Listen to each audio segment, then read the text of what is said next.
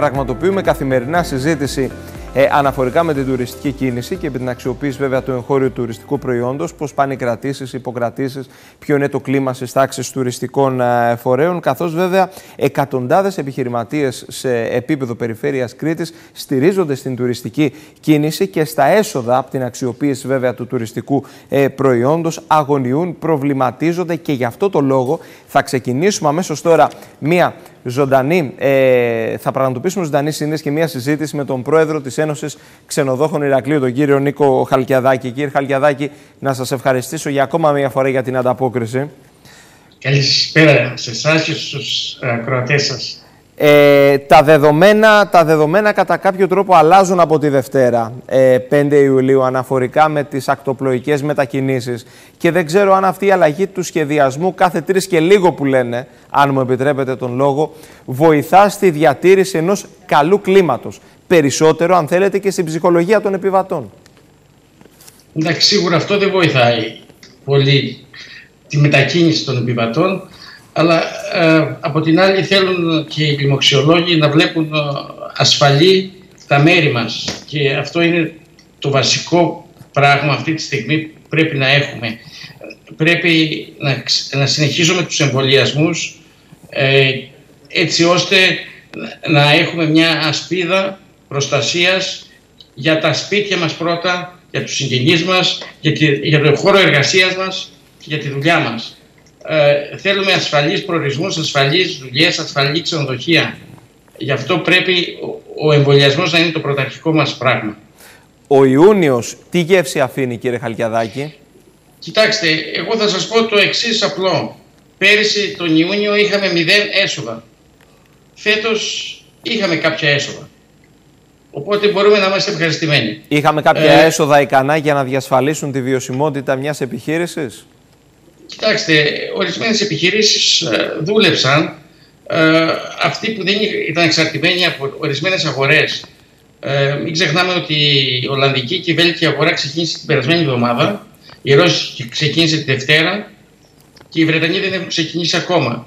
Οπότε όσοι ασχολούνται με αυτές τις αγορές σίγουρα είχαν δύσκολο Ιούνιο. Αλλά μην ξεχνάμε ότι ε, είχαμε αρκετές αφήξεις. Είχαμε περίπου ένα 60% κάτω από το 19% των αφήξεων στο αεροδρόμιο Νίκος Καζαντζάκης. Οπότε σίγουρα είναι καλό αυτό το 40% που ήρθε. Μάλιστα, αναφερθήκατε στην αγορά της Ρωσίας, άλλαξαν τα δεδομένα την περασμένη εβδομάδα και στην αγορά της Μεγάλης Βρετανίας, χαμένες αγορές, μπορούμε να έχουμε προσδοκίες από την αξιοποίηση συγκεκριμένων επιβατών; Κοιτάξτε, η Ρωσία ξεκινάει, ξεκίνησε από τη Δευτέρα και έρχονται οι επιβάτες με PCR test ή με rapid test. Ε, η Μεγάλη Βρετανία αυτή τη στιγμή ακόμα δεν έχει ξεκινήσει. Όλοι που έρχονται, που έρχονται πάρα πολύ λίγες πτήσεις όταν γυρνάνε στη Μεγάλη Βρετανία είναι σε καραντίνα 10 ημερών, οπότε στην ουσία δεν έρχονται. έρχονται αντί 70-80 πτήσεις που έρχονταν τη βδομάδα έρχονται 3-4. Οπότε είναι μηδαμινό το νούμερο. Ε, από 19 του μήνα λένε ότι θα ξεκινήσουν οι προγραμματισμένες πτήσεις από την Jet2 και από την TUI. Ε, τώρα θα δείξει, γιατί αυτά αλλάζουν καθημερινά τα δεδομένα, οπότε πρέπει να περιμένουμε να δούμε τι θα γίνει.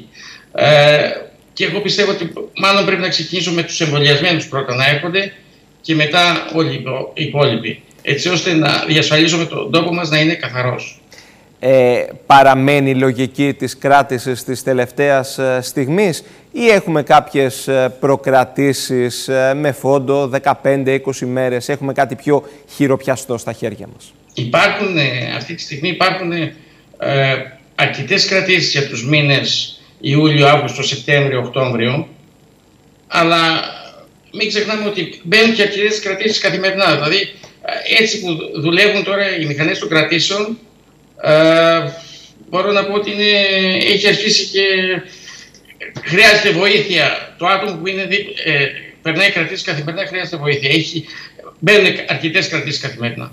Μπαίνουν αρκετές κρατήσεις καθημερινά. Αναφερθήκατε στον μήνα Οκτώβρη. Ε, βλέπετε επέκταση της σεζόν; Ε, είναι ένας ρεαλιστικός σχεδιασμός; Ή θα μου πείτε εδώ αλλάζουν τα δεδομένα κάθε μία εβδομάδα δεν μπορώ να πω κάτι παραπάνω. Ε, σίγουρα δεν μπορούμε να πούμε κάτι παραπάνω, αλλά αυτή τη στιγμή οι κρατήσεις μας πάνε σίγουρα μέχρι το πρώτο δεκαήμερο του Νοεμβρίου, οι κρατήσεις μας.